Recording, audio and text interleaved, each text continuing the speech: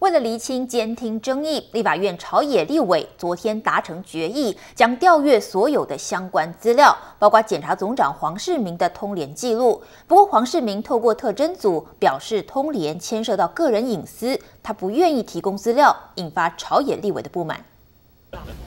法务部长罗英雪一进到立法院会议室，就被媒体团团包围，因为立法院调阅小组要求检察总长黄世明提供通联记录，却被打回票。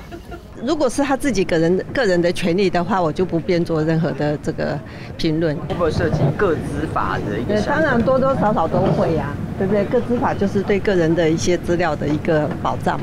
我们总长是不是发挥一下他政治智慧？假如他硬是不呃不接受调阅的话，那这个问题就等于说还是闲在那里。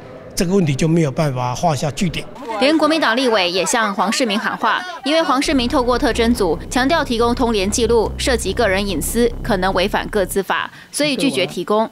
而调阅小组除了要黄世明的通联记录之外，还有他到总统府及官邸的记录，特侦组相关的四位检察官跟总机的通联，特他自六十一号的所有监听资料。二零零七年到二零一三年监听立法院总机的资料，以及立法院总机的所有通联记录，立委们都要一一检视。不过，跟马总统有关的部分，统统被排除。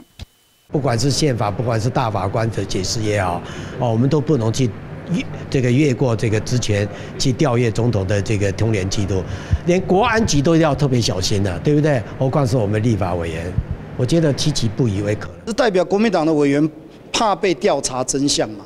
马总统跟黄世明通联几个电话，这个跟国家安全有什么关系？在野炮火强烈，坚持要检察总长提供通联记录。这场国会监听引起的风暴仍未平息。新唐亚太电视综合报道。